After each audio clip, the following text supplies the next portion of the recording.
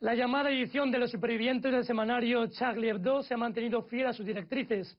Provocadora, incisiva, feroz, controvertida y sobre todo con sentido del humor. Y todo resumido en una portada de nuevo con el profeta Mahoma, esta vez llorando una lágrima y portando el ya famoso cartel Je suis Charlie, soy Charlie. En la parte superior como titular, el mensaje Todo está perdonado. Mucha emoción en la creación de este número de Charlie Hebdo.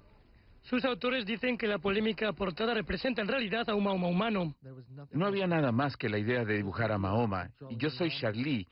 Y cuando lo miré, estaba llorando, y sobre eso escribí, todo está perdonado, lloré y esa era la portada.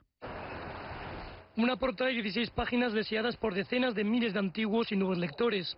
Se han imprimido en cinco lenguas y se distribuyen a una veintena de países. Con una circulación habitual de unos 60.000 ejemplares, esta vez la tirada del semanario alcanzará, según medios franceses, unos 5 millones de ejemplares, que serán distribuidos por tandas durante los próximos días.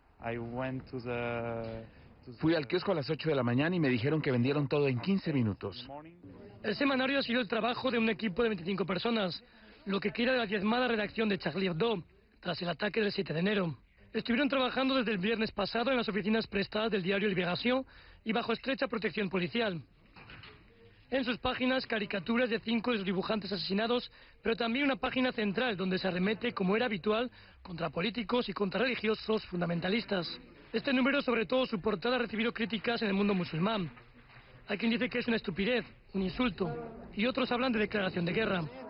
Eso es una insolencia, ignorancia y una imprudencia.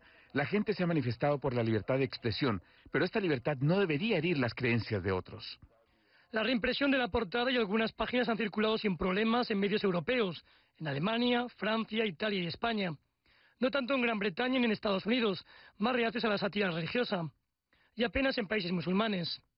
En América Latina ha sido replicada en los diarios argentinos La Nación o El Clarín, entre otros, además del colombiano El Tiempo, que han publicado no solo la portada, sino todo el semanario satírico en su versión digital. Miguel Ángel Antoñanzas.